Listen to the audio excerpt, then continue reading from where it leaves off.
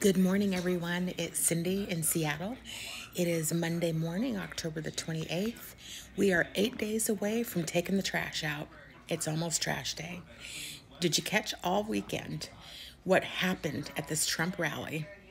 The things, the horrible things that he said about Puerto Rico, about the brown people, last week about the Mexicans, the effing Mexicans, us as black people like this piece of trash needs to be taken out.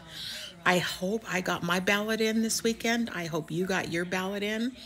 I'm so disturbed by this bold white supremacy, these folks getting up on stage and having rallies and cheering on the hatred of other people. it's time, people. It is time for us to show who's got the power in this country.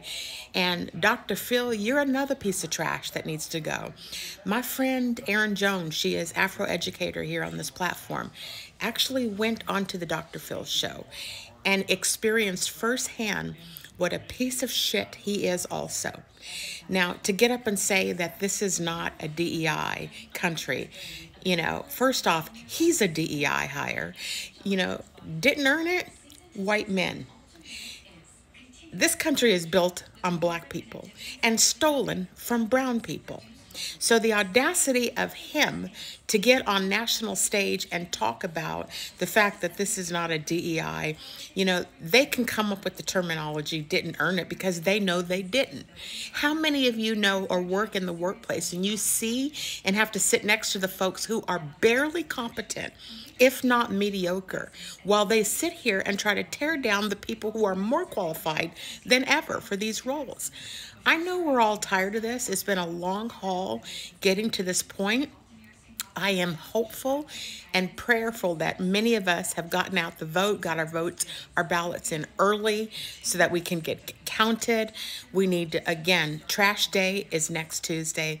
Let's take him out once and for all, get him locked up in jail where he belongs for his 34 counts, take America back to the people who built, whose land this is, who built this country and give us opportunity economy like what Vice President Harris is pushing. I'm riled up this morning because it was the most disgusting display of white supremacy. Oh, they just didn't have the pillowcases over their head. We see them for who they are. Do you see them? Did you get your vote? Did you get your ballot in?